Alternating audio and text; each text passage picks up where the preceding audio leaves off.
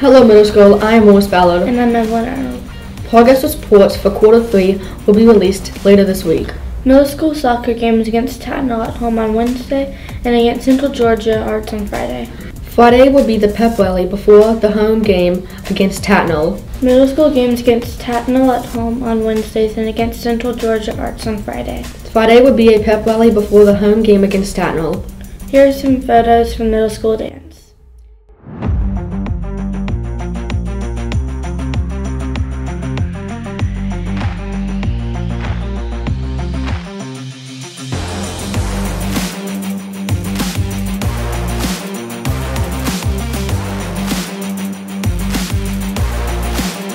Here's a report on the middle school robotics team heading to the state tournament. Hi, I'm Mary Marshall Swift, and this is Miss Leslie Brown. What is the robotics team?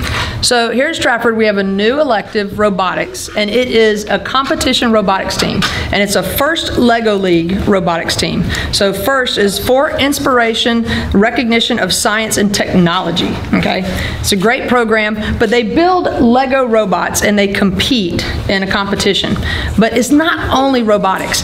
It is all the components that make you um, good at going forward in careers in science and technology. They also have to do an entire research project. Did you know they do that in there? I did not. They do. They had to do with the theme. This year is uh, super powered. They did an entire project. One team did a project on how to deal with nuclear waste. And one team has done a project on how to have a better carbon filter for a car. And actually, that team has made it to the state championship. Um, Elby, how many students are attending state and where will that be held? So we have a class of 20 students, um, and a team is limited to 10, so we had two teams. So we have one team that's going to state, and sometimes schedules interfere. I don't know if you know it, but you kids, y'all are real busy. I've got some kids who have like uh, softball tournaments, soccer tournaments, different things. They can't make it, so we will send 10 kids, a full um, full roster of kids, and they are going to. I do want to admit, I'm a little excited. We're going to Georgia Tech, my alma mater there. We're going to Georgia Tech on uh, Saturday, February 11th, so wish them luck.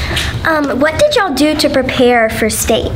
So to prepare for state, we first had to go to one qualifier event in December. Both teams went to that. Then we have gone to the super regional. And what's really cool here is in this classroom, all of the students worked together to make the project better, to make the um, robot game better, and to have better points once we go to super regional. And then we've gone to state. And um, we'll get to show you a couple of things of how they do the robot game. That's the fun part. Um, it, every year it's a new mat, um, a competition table, and it deals with what the theme is. And their robots have to go pre-programmed to complete a mission, and they do things out on the field that have to do with the theme of the year. Um, how did y'all get to feel the need to have to create this uh, robotics team? So I will tell you that I've been coaching robotics teams for uh, Lego robotics teams for about um, uh, 10, 11 years, I think. And I'm actually a graduate of Stratford Academy, and I will tell you that when I went to school here, there was nothing like this here. Um, I'm excited to be here uh, opening the STEAM lab for the middle school.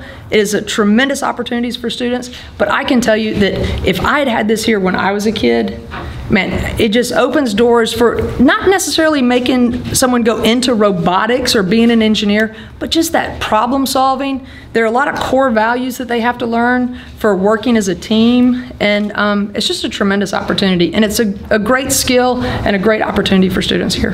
Have a wonderful week, middle school.